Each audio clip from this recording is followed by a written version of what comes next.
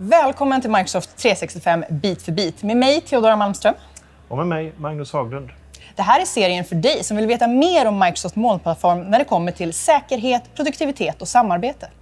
Och I det här avsnittet så kommer vi samtala med Ola Fagerström från Microsoft kring klienthantering, paddor, plattor och Windows-enheter naturligtvis.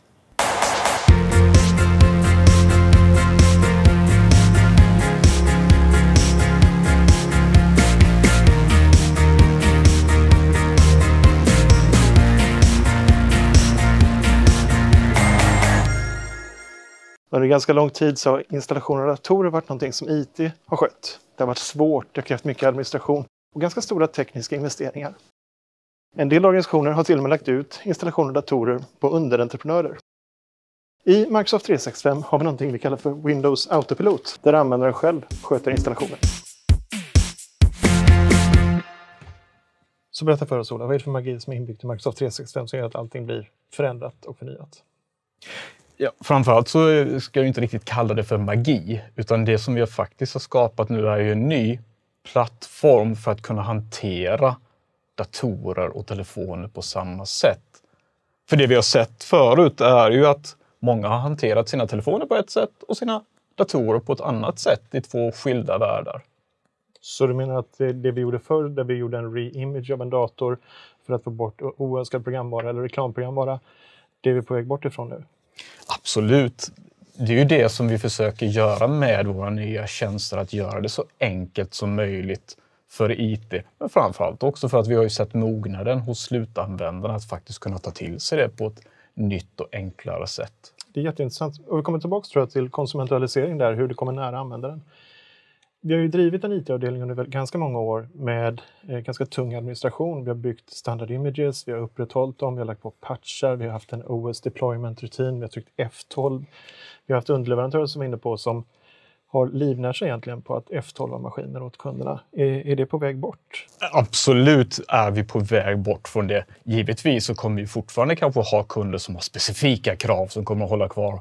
Men vi ser ju definitivt att både att kunderna och oss som organisation Microsoft är ju där vi ser att vi kommer framåt. Och det vi har byggt är ju det som vi kallar för Windows Autopilot som hjälper kunder att göra just den här förenklade sättet att rulla ut enheterna till slutanvändarna. Introducera Autopilot för oss. Vad, vad handlar det om egentligen? Vad är det vi står inför? Autopilot bygger ju väldigt mycket på just det här att göra det så enkelt som möjligt att kunna skeppa en enhet direkt från tillverkaren och ut till slutanvändaren och att vi transformerar enheten till att vara en enhet som tillhör en organisation istället för att vi gör på det traditionella sättet att vi gör en re-image på den. Där vi registrerar enheten till organisationen. Vi skapar och tilldelar den till en Windows Autopilot-profil som vi har skapat upp i Microsoft Endpoint Manager och vi kan så sätt skicka enheten direkt till slutanvändaren. Det här känns ju lite grann eh, för en icke-Microsoftare kanske som Apple Business Manager eller Samsung Knox. Nu lägger vi till ett nytt verktyg i administrationsmiljön, ett nytt verktyg bland alla de andra verktygen. Är det den här vägen vi ska gå? Jag skulle väl inte säga att vi lägger till ett verktyg, för visst, det kanske vi gör. Men vi, det vi tittar på det är ju egentligen att vi skapar ju den nya plattformen för att hantera alla enheterna genom ett och samma verktyg. Så det gör ju också att vi kan ju faktiskt börja utvärdera vilka verktyg kan vi faktiskt plocka bort? Istället för att vi ska ha 14 olika verktyg som gör ungefär samma sak så kan vi ju faktiskt nu göra alltihop från en och samma plattform. Så det som vi gjorde tidigare i olika One Trick Ponies, det gör vi nu i plattformen Microsoft 365. Det är det tänker? Absolut Magnus, det är det vi ser. Och det är det som vi också ser den stora vinningen i att kunna hantera alla de här på ett och samma sätt. Och återigen att transformera en enhet till att tillhöra organisationen istället för att vi måste skicka den till IT-avdelningen först. Kan du inte visa? Vad är det vi står inför? Så den första saken som vi ser i Windows Autopilot-processen är ju att enheten registreras och tittar på är den här enheten registrerad mot oss som organisation och tittar också upp mot våra tjänster om det finns uppdateringar och så vidare, vilket kommer vara den första saken som händer när användaren slår på sin enhet. Den kommer också sen att titta på om den här enheten finns registrerad eller tillhör vårat, vårat Azure Active Directory, det vill säga vår katalog för våra enheter och användare. Och sedan så kommer vi påbörja den här transformationen genom att använda Microsoft Intune för att lägga på eventuella policies, se till att den är enligt den standarden som vi har sagt att en enhet ska vara för att kunna komma åt de övriga tjänsterna som vi har. Precis enligt det ramverket som när vi pratar om den större Zero Trust-arkitekturen.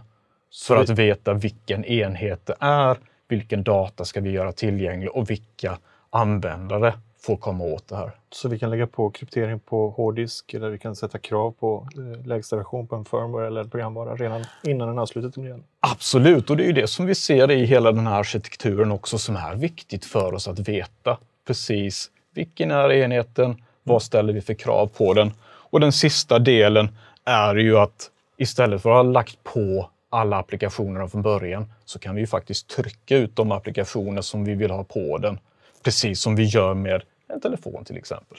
Och som slutanvändare, vad, vad är upplevelsen för henne? Låt oss titta på precis hur det faktiskt kommer att se ut när du får hem din nya maskin. Det första du gör är att slå på den och kommer du se den här fantastiska Windows-loggan och det lilla hjulet som snurrar. Men ganska så snabbt så kommer den ju att be dig att ansluta till ett nätverk.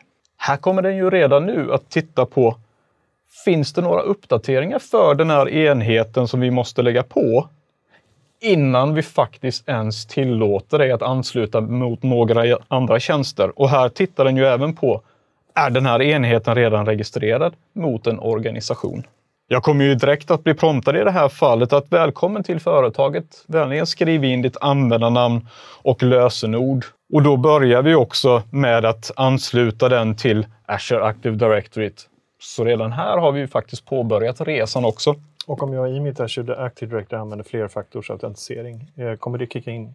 När jag skriver in mitt lösenord här så kan jag ju precis som du säger att ha lagt på den här lilla prompten så att den kommer att plinga till kanske i min telefon och säga att du, du måste faktiskt använda en faktor till för att ansluta den här datorn till våran organisation. Och då kommer den ju börja sätta upp mitt konto och här kommer den ju även att ansluta sig upp mot Intune.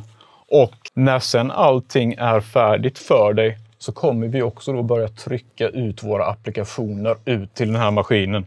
Och då kan det ju vara allting från våra Office 365-applikationer till kanske våran eh, portal för att vi ska kunna göra våra expenses eller vad vi nu annat säger är viktigt för slutanvändaren.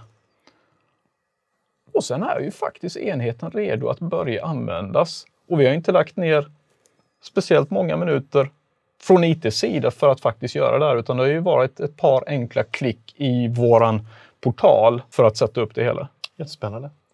Jag noterar att du kör Windows 10 på den här klienten. Är det här exklusivt för Windows 10? Oh, bra att du frågar. Självklart finns det ju det här för både Windows 10 eller Windows 11 det fina med plattformen att helt plötsligt kan vi ju faktiskt använda ett och samma verktyg för alla de olika plattformarna och även sätta policies som slår över olika maskin eller olika OS eller leverantörer. Och det här är faktiskt jätteviktigt. Vi pratade tidigare om Zero Trust-modellen, nu hände det eh, som handlar väldigt mycket om säkerhet. Att få in alla maskiner i en och samma vy, alla typer av enheter i samma vy, gör att vi kan minska antalet attackvektorer i miljön. Vi kan se var bristerna finns, var vi måste trycka vidare på uppdateringar eller något annat. Kalasbra.